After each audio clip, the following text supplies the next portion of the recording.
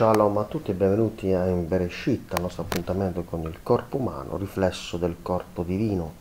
Ecco, siamo saliti verso la parte centrale del corpo, allo stomaco, Vediamo la parte, ecco, abbiamo visto la parte del, della zona dell'urogenitale del, dei liquidi, dell'acqua.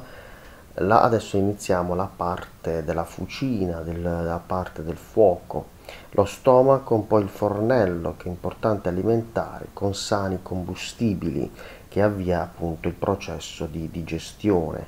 Mangiare e integrare, in ebraico ochel, è integrare la totalità delle energie divine che sotto il simbolo dell'erba e del frutto, anticipazione del pane e del vino, è il nutrimento dell'Adam.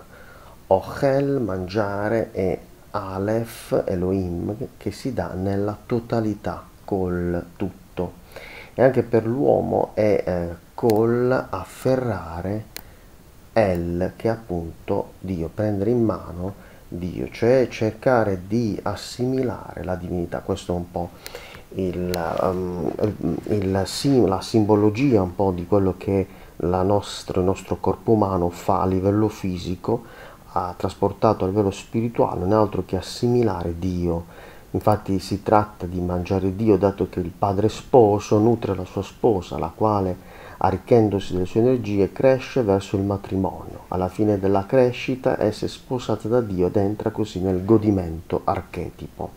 Ontologicamente il nutrimento è della stessa natura del matrimonio, è il godimento. Dopo la caduta purtroppo l'uomo separato dal padre sposo si dà al falso, al falso sposo, Satan, che lo cerca di divorare, dal quale verrà, diverrà il godimento.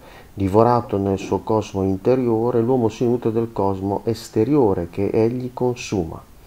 Quest'unica funzione ontologica, cioè nutrimento e matrimonio, subisce così la divisione e l'uomo cerca allora il godimento attraverso la sessualità da un lato e dall'altro attraverso il cibo dei quali eh, sono, eh, in psicologia sono note le, le strette connessioni appunto, tra cibo e sessualità.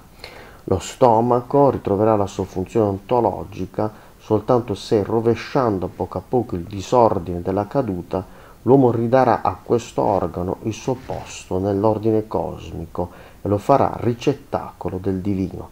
Infatti il vero nutrimento è appunto è quello spirituale, cantare la gloria di Dio, è pregare e amare, è vivere la bellezza, questo è il nutrimento spirituale. L'odio e la bruttura nutrono in Satana e distruggono. Il nutrimento spirituale a livello appunto rituale noi lo abbiamo nel pasto eucaristico che ci riporta questo, a queste norme ontologiche. L'Eucaristia dei cristiani è appunto questo ritorno L'uomo che arriva a conoscere il godimento a questo livello può gradualmente cancellare la vita sessuale e il nutrimento psichico. Il nutrimento psichico è quello dell'emozione che richiede di avere dello stomaco e che mantiene l'uomo in tuniche di pelle. Il nutrimento del corpo è quello che è necessario al nostro stato presente, che dovrebbe essere scelto con misura per non appesantire il laboratorio della grande opera in quanto ontologicamente l'uomo ha fame di Dio. Esistenzialmente egli lo scambia con de, quella fame di felicità che può essere un buon pasto, la vita affettiva, la vita sessuale, così come tutte le ideologie che promettono un Eden de, in modo da compensare la nostra fame. Tutti questi aspetti possono essere giusti nella misura però in cui si iscrivono nell'economia del cammino umano verso la conquista divina. Per contro, se prendono il posto divino, prima o poi si distruggono l'uomo.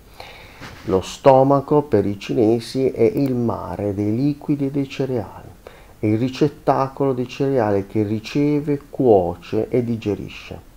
A tutti i livelli, dunque, lo stomaco è il luogo di maturazione ed elaborazione. Eh, se lo stomaco è il fornello del laboratorio, possiamo chiederci appunto eh, quale ne sia appunto il fuoco il, il soffio del verbo di Dio è appunto il processo del fuoco che innesca appunto la, il riscaldamento. il triplice organo dell'unico fuoco divino eh, è appunto a immagine Trinità, nell'altro che il riscaldatore sovraombelicale che trasforma e elabora le energie, separa il puro dall'impuro. Il eh, riscaldatore sottoombelicale che elimina i rifiuti e mette da parte ciò che deve essere purificato e il riscaldatore superiore, quello toracico, che tri- distribuisce le energie purificate e i soffi necessari agli altri due riscaldatori. Quindi eh, la prossima volta vedremo eh, la, eh, il fegato, anche questa è importante per eh, capire appunto ehm, l'importanza del processo digestivo che culmina, culmina appunto poi nel fegato e nel pancreas. Bene, alla prossima volta. Shalom a tutti.